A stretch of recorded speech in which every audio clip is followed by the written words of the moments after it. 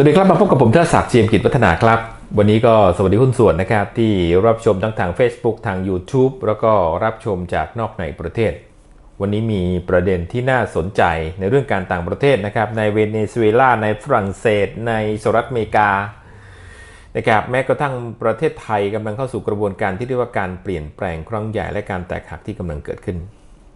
ไปดูในเชิงปรากฏการณ์ครับปรากฏการณ์เกิดอะไรขึ้นที่น่าสนใจไปทั่วโลกเลย นะครับออสเตรเลียเนี่ยนะครับยืนยันไม่ได้ถูกจีน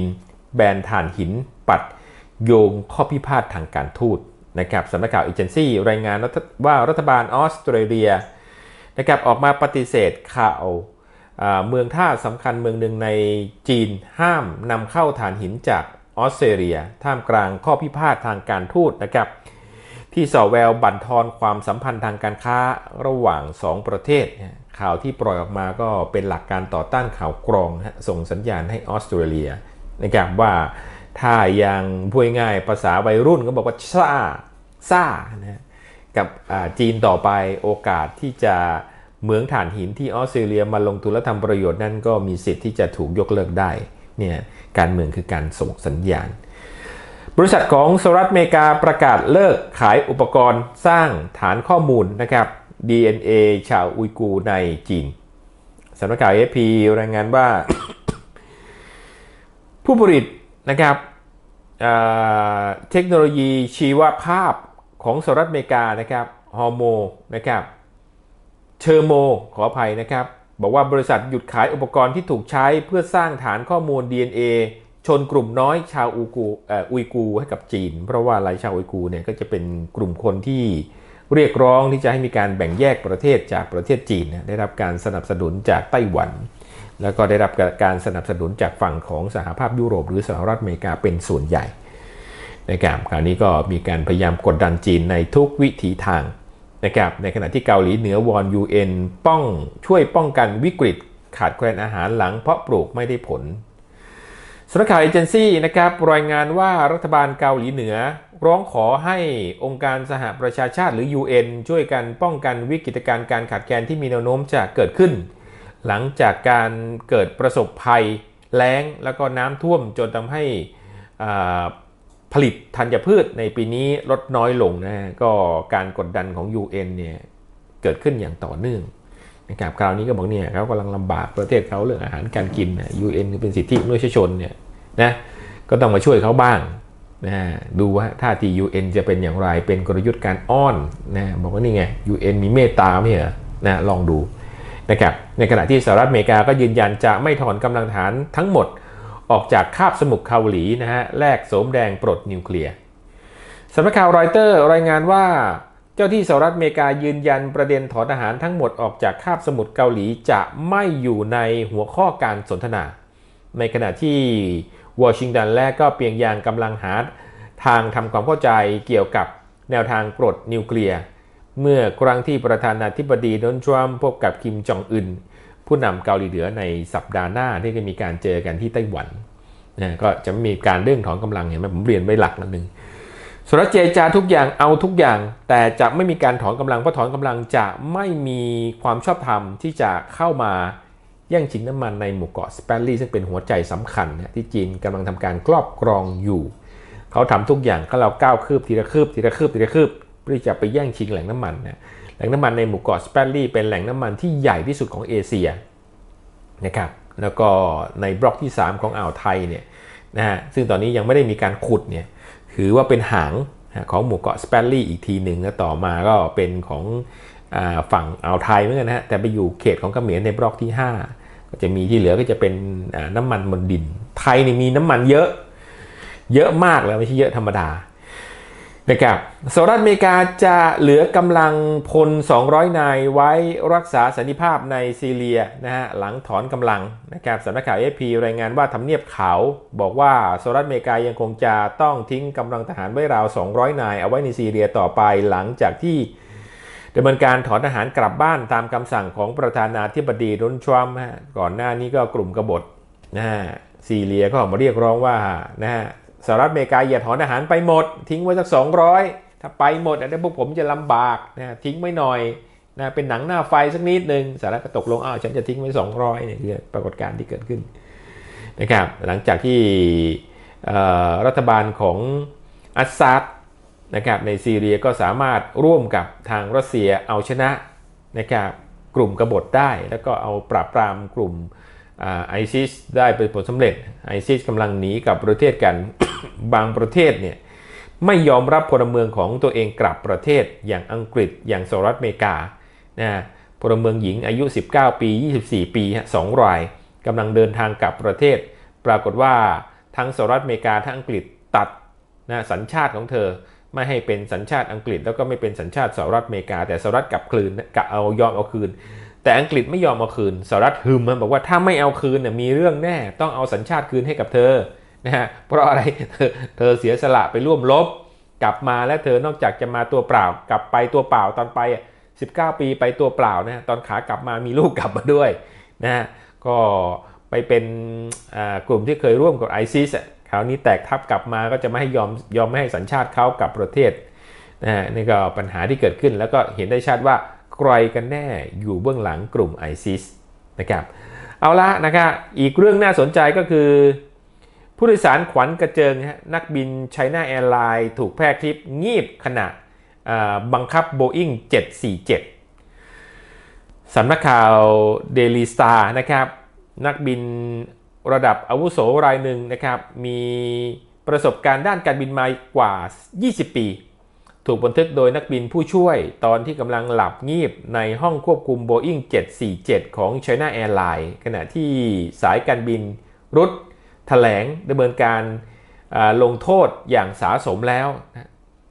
สาเหตุที่เกิดขึ้นจากอะไรเกิดขึ้นจากมีการประท้วงยาวกว่า 7 วันของกลุ่มนักบินที่ไม่พอใจการใช้งาน นักบินมากกว่าปกตินะครับก็เลยมีการประท้วงเกิดขึ้นจู่ๆก็มีการแพร่คลิปนี้ออกมา ตอนนี้สายการบินบอกว่าจะดำเนินการกับนักบินด้วย และก็ตอนนี้ก็มีแนวโน้มที่จะดำเนินการกับผู้ช่วยนักบินนะที่ถ่ายคลิปนี้แทนที่ว่าจะไปปลุกให้นักบินนั้นตื่นขึ้นมานะครับเครื่องบินก็สร้างความหวาดกลัวสำหรับผู้โดยสารนะสำหรับนักบินรายนี้ก็เป็นนักบินที่มีประสบการณ์มากว่า 20 ปีนะครับบินไปในหลายพื้นที่เลย นะโดยเฉพาะออสเตรเลียเนี่ยเขาจะบินบ่อยมันใช้เวลาบินนานไงนะก็สามารถหลับได้เขากดปึ้งมันก็ออโต้พายロก็บินอัตโนมัตินะครับประธานาธิบดีโดนัลด์ทรัมป์อึ้งนะฮะกับลำเรื่องหัวเว่ยเนี่ยสหรัฐอเมริกายกระดับการต่อสู้ 5G แทนการปิดกั้นนะครับสำนักข่าว AFP รายงานว่าประธานาธิบดีโดนัลด์ทรัมป์แห่งสหรัฐอเมริกา ชี้แนะบริษัทต่างๆ ของสหรัฐควรยกระดับด้านความพยายามด้านเทคโนโลยี 5G หรืออระบบเครือข่ายไร้สายความเร็วสูงยุค 5 นะครับในระดับเดียวกันก็บ่งชี้ว่าเขาไม่ได้เตรียมการปิดกั้นเหล่าบรรดาบริษัทต่างๆ ที่เข้าถึงตลาดเทคโนโลยีหลักของอเมริกันนะครับตอนนี้เยอรมนีก็มีการทดสอบร่วมกับจีนแล้วนะครับ ไทยมีการทดสอบร่วมกับจีนแล้วเช่นกันนะไม่สนเลยทรัมป์ก็เปลี่ยนท่าทีแล้วทำไมทรัมป์เปลี่ยนท่าทีทราบไหมฮะ มาดูข่าวนี้นะครับลือจีนสหรัฐอเมริกาบันทึกความเข้าใจความหวังใหม่นะครับบรรลุข้อตกลงดีนจบศึกสงครามทางการค้าสำนักข่าวรอยเตอร์รายงานว่านะครับแหล่งข่าวแย้มอเมริกันจีนเริ่มบันทึกความเข้าใจเกี่ยวกับประเด็นความรุนแรงที่สุด ซึ่งถือว่าเป็นความคืบหน้าสำคัญอย่างยิ่งอาจไปสู่การยุติสงครามทางการค้าที่ดำเนินการมายาวนานถึง 7 เดือนเห็นไหมจู่ๆทรัมป์ก็เปลี่ยนท่าทีเปลี่ยนท่าทีเพราะข้อตกลงมันโอเคแล้วนะครับไปดูสภาวะเศรษฐกิจฮะน้ำมันลงทองคำดิ่ง 20 ดอลลาร์นะครับหุ้นสหรัฐอเมริกาปิดบวก ปิดลบนะกังวลเศรษฐกิจของสหรัฐอเมริกาส่งสัญญาณสุดตัว นะครับสำนักข่าว Market Watch กับสำนักข่าว AFP รายงานว่าราคาน้ำมันขยับลงนะครับหลังรายงานชี้อุปทานภายในของสหรัฐอเมริกาเพิ่มขึ้น 5 สัปดาห์ติด และกำลังผลิต แตะระดับสูงสุดเป็นประวัติการส่วนวอลซีปิดลบ ผิดหวังข้อมูลเศรษฐกิจของสหรัฐอเมริกา ขณะที่ต้องคำปิดแรงจากดอลลาร์แข็งค่าเห็นไหมนี่คือเรื่องของสภาวะเศรษฐกิจแต่ประเด็นวันนี้น่าสนใจฮะเป็นเรื่องแปลกๆนะครับ ของชายคนหนึ่งเป็นคนจีนนะปรากฏว่าเขาไลฟ์สด ดื่มของเหลวดื่มเอาดื่มเอาดื่มเอานะฮะสารพัดชนิดนะฮะกะว่ากะว่าจะสร้างชื่อบนโลกออนไลน์นะฮะสุดท้ายปรากฏว่าไงฮะกลายเป็นศพไปอยู่ในยมโลกสำนักข่าวรัสเซียทูเดย์รายงานว่า ชายคนหนึ่งนะเสียชีวิตอย่างน่าสังเวชนะครับ หลังใช้เวลา 3 เดือนนะครับ ดื่มของเหลวต่างๆ อย่างมากมายนะครับ ในนั้นรวมถึงน้ำมันปรุงอาหารนะครับ ส่วนหนึ่งในความพยายามแบบป่วยๆ เพื่อสร้างความเชื่อบนแอปพลิเคชันไลฟ์สดบนสังคมออนไลน์ของประเทศจีนนะสื่อ China South China Morning Post ของจีนรายงานว่านายจู้นะฮะเสียชีวิตนะฮะเมื่อ 31 ธันวาคมที่ผ่านมา หลังจากไลฟ์สดตัวเองดื่มกำลังดื่ม แอลกอฮอล์ที่ซูเปอร์มาร์เก็ตแห่งหนึ่งในเมืองต้าเหรินนะครับมณฑลเหลียวหนิงนะครับไม่มีข้อมูลว่าเป็นเหล้าชนิดใดนะครับที่ดื่มเข้าไปเป็นแอลกอฮอล์ชนิดใด แล้วก็สาเหตุที่ตายเพราะอะไร แต่เพื่อนสนิทของเขาบอกว่าที่เขาตายเนี่ยไม่ใช่เพราะว่าดื่มทุกวันแต่เขาทำแบบนี้มานานกว่า 3 เดือนแล้ว เขาดื่มเบียร์ของเหลวอื่นๆ โดยไม่หยุดพักแม้แต่วันเดียวนะเซาไชน่ามอร์นิ่งก็ระบุอย่างนั้นนะนายจู้เริ่มแสดงอาการป่วยบนแท็กซี่นะฮะหลังจากอออกจากซูเปอร์มาร์เก็ตจากนั้นเขาก็ไปแจ้งตำรวจนะจากนั้นคนขับก็ไปแจ้งตำรวจก่อนนำส่ง เจ้าตัวเนี่ยลงไปยังโรงพยาบาล ในขณะที่แพทย์ก็ยืนยันว่าเสียชีวิตแล้วนะครับเพื่อนก็เล่าว่านายจู้ดื่มของเหลวต่างๆ นานานาน 3 เดือน โดยใช้เงินราวประมาณ 500 หยวนหรือ 2,300 บาทนะครับในแต่ละวัน จากการที่มีแฟนคลับจำนวนมากเข้าชมออนไลน์ของเขานะฮะบนแอปพลิเคชันวิดีโอ ซึ่งนั่งอยู่หน้าจอพร้อมกับชมว่าเขาคงไม่สามารถจะทำมันได้อีกต่อไปแล้วนะฮะดูเหมือนเขาจะชักกระตุก แต่ผู้ชมก็เรียกร้องให้ให้มันทำมันต่อไปนะครับในวิดีโอต่างๆ จากการไลฟ์สดของนายจู้ พบว่ากำลังดื่มของเหลวนานาชนิดนะนั่นก็รวมถึงน้ำมันแล้วก็คลิปหนึ่งที่พบว่าเขาอาเจียนออกมาอย่างออกมาแล้วก็ตัวของเขาก็ชักเกลิ่งด้วยนะฮะฉากหนึ่งเขาในจู้แล้วก็เป็นภาพที่สนทนาต่างๆ บนแอปพลิเคชันสดบนสังคมออนไลน์เนี่ยปรากฏว่า ถึงแม้ว่าเขาจะลำบากจะกระชักกระตุกแล้วก็แล้วแต่นี่ยคนก็บอกเอาอีกเอาอีกเอาอีกยุเขาเอาเรื่อยๆฮะจนกระทั่ง เนี่ยตายคาแท็กซี่พอตายคาแท็กซี่ทำไงทราบไหมฮะแอปพลิเคชันดังกล่าวรีบปิดวิดีโอของจู้ไม่ให้ดูต่อเนี่ยนี่คงเป็นประสบการณ์อันนึงนะที่ผมเรียนให้ทราบว่าเป็นปรากฏการณ์อันนึงที่เห็นว่าคนเรามนุษย์เรามันก็ทำอะไรแปลกๆนะเพื่อหวังอะไรฮะก็เพื่อหวังที่จะเป็นเน็ตไอดอลผลสุดท้ายนะไปพบกับยมบาล นะก็พาดหัวอย่างนั้นเลยนะรัสเซียทูเดย์พาดแบบนั้น น่าสนใจฮะสถานการณ์ทางการเมืองระดับโลกกำลังเข้าสู่กระบวนการเปลี่ยนแปลงการเจรจาสงครามทางการค้าระหว่างจีนกับสหรัฐอเมริกากำลังดีขึ้นนะครับอย่างน่าเหลือเชื่อนะพลิกปุ๊บเห็นไหมผมบอกนะตั้งแต่วันที่ 22 ไปปุ๊บเป็นไงมาเลย ตามสูตรเป๊ะนะฮะตามเวลาเป๊ะมาดูสถานการณ์ในประเทศไทยฮะน่าติดตามว่าไทยจะจบลงอย่างไร ขอบคุณที่บอกต่อขอบคุณที่แชร์ต่อขอบคุณที่เล่าต่อขอบคุณที่ร่วมสนับสนุนสถานี ขอบคุณที่ร่วมกันทำความดีเพื่อความดี ผมเทอศักดิ์เจียมกิจวัฒนา สวัสดีครับ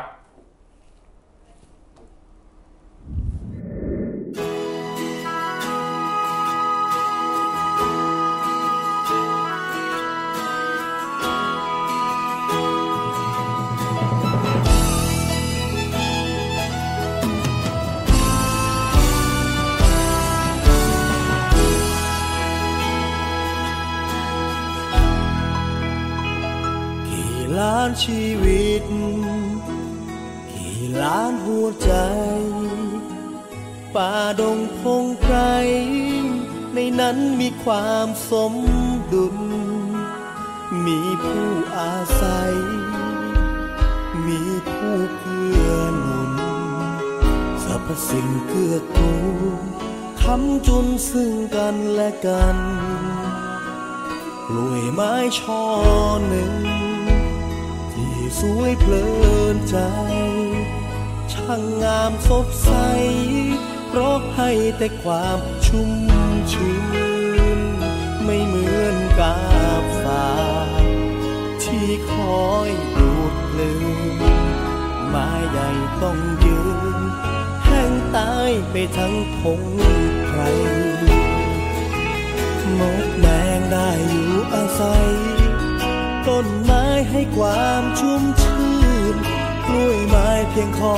ดูดกลืน น้ำเลี้ยงเพียงพอได้อยู่ กาฝากกล้วยไม้เกิดมาสายพันธุ์เดียวกัน ผู้หนึ่งสร้างสรรค์ผู้หนึ่งเฝ้าคอยทำลายกาฝากสังคม คนนิยมกาให้ ดูดกินเลือดไทย ให้หายไปทุกทุกวัน กาฝากต้นไม้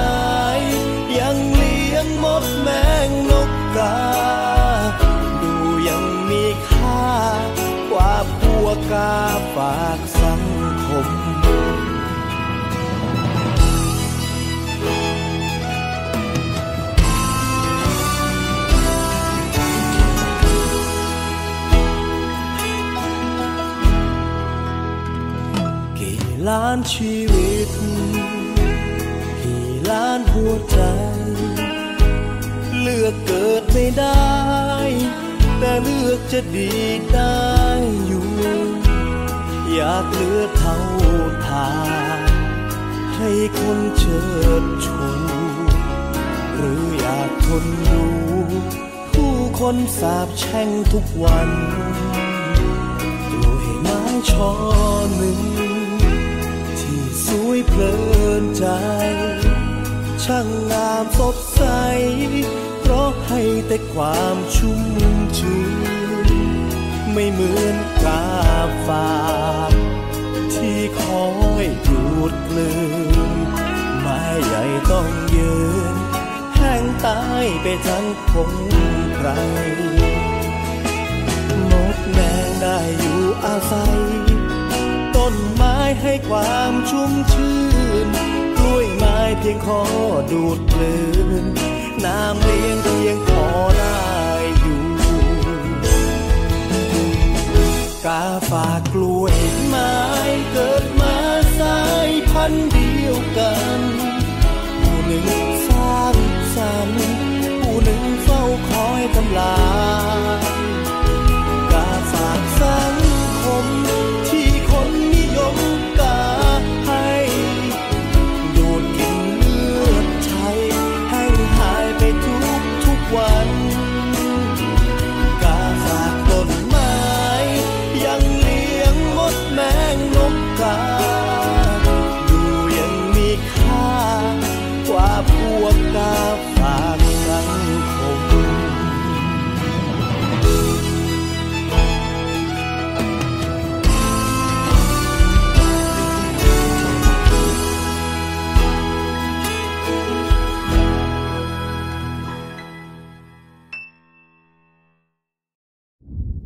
สำหรับหุ้นส่วนนะครับที่รับชมทั้งทาง Facebook ทาง YouTube นะฮะสำหรับทาง YouTube ก็สามารถที่จะกดติดตาม แล้วก็กดกระดิ่งนะฮะใต้คลิป แล้วก็ทาง YouTube เรานอกจากจะมีทางช่องวิหกนิวแล้วนะฮะคลิปเก่าๆจะไปอยู่ในช่องวิหกถามนะครับส่วนทาง Facebook นะครับสามารถติดตามได้ในฝั่งของเพจเทิดศักดิ์เจียมกิจวัฒนาแล้วก็วิหกนิวส์นะครับก็สามารถติดตามคลิปใหม่ ๆ ได้ ด้วยการ กดกระดิ่งนะฮะกดไลฟ์นะครับถ้ากดกระดิ่ง ตรงบริเวณคลิปก็จะสามารถรับชมคลิปใหม่ ๆ ได้ทันทีฮะสำหรับใครยังไม่ได้เข้ากลุ่มไลน์นะฮะของวิหกก็สามารถเข้าได้นะฮะ v 6 new ครับ